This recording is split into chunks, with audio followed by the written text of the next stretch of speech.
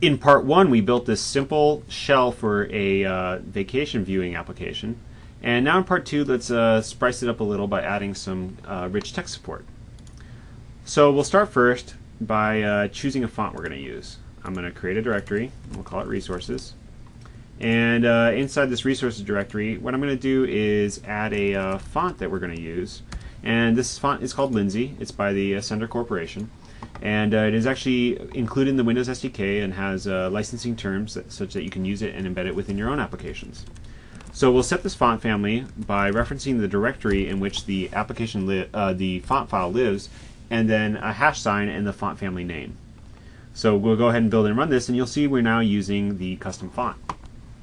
And it's got a, a nice personal feel. Uh, so let's take this a, a, step further and add something a bit richer. We'll we'll remove this uh, placeholder text and let's instead create a frame. And uh, we'll put this point this frame source to a file called intro.xaml. Now obviously we don't have an intro.xaml yet, so let's go ahead and, and create a new file called intro.xaml. And in this case I'm going to use a, uh, it's going to be a bit of text, so I'll use the WinFX flow document template. Go ahead and add this. And you'll see this uh, prepares us a little flow document tag. Let's change the font family to, again, be Lindsey. And in this first paragraph, let's make the text a little bigger. Let's say, welcome to my vacation. And uh, second paragraph here, I hope you like it. I had a great time.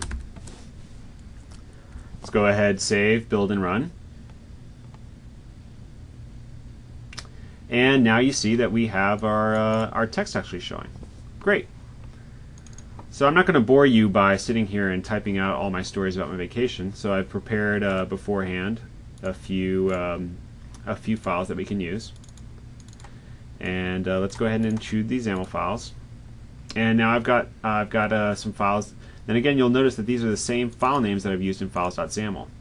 So what I'd like to do is set up the frame to navigate uh, to whatever uh, photo has been selected in the list box.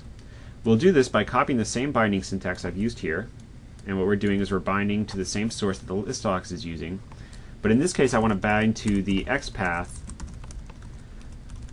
for the href property that we define here in files, which again is here, as you see, chiangmai.xaml. And uh, in order to make sure we have the, the same one that is um, Set in the list box, we'll set the is synchronized with current item equals true here. As I go ahead and build, you'll see that now as I uh, select different uh, different photos here, I'm going ahead and navigating between documents. Now uh, let's take a look here and you'll notice that uh, we're using the built-in uh, control that we call flow document reader and what this allows me to do is go ahead and, and scale and change the actual scale of the text I'm reading along with uh, view in different modes. So in this case, this, here's a two-page mode, or even a more traditional scrolling mode where I can read text in, in, more of a web-like view. Now this is a control that uh, comes built in. Let's look at how we actually constructed this layout for this for this content though. Go ahead and open, open Angkor. And again, you see we just have a flow document tag set at the top. We've set our font family. There's a few properties here that we control. So column gap in this case controls the number, the amount of distance between each each column. And uh, what I've done here is I've created, uh, within a paragraph, we have a figure at the top that displays the actual title of this document. And what the figure does is it allows me to place this uh, content within a part of the page. So in this case, I've anchored it to the the left and uh, the left of the side of the page, and I've told it to be the entire size of the page of the content of the page. And uh, you can see here, most of this markup should look uh, fairly simple. I've got other figures that contain images, in this case an image anchor 1, anchor 2, and I've got paragraphs full of text.